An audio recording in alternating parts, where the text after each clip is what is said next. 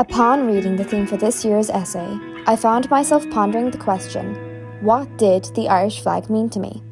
The historical symbolism of the Irish flag is peace between Roman Catholics and Protestants. The emerald green represents Catholics, the orange represents Protestants, and the white symbolises peace and tranquility between the two. However, the theme is what the Irish flag means to me as a young person of era. The things I believe the flag represents is strength.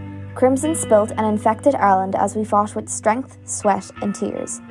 Thousands of young and old fought for their homeland, their hope for peace and tranquility keeping their chins high as their brothers and sisters died only moments before.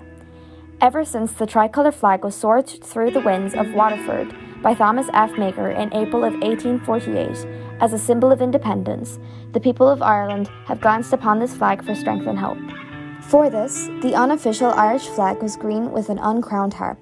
I personally prefer the tricolour, as it includes all of Ireland, almost as a metaphor that we are stronger together than separated or at conflict.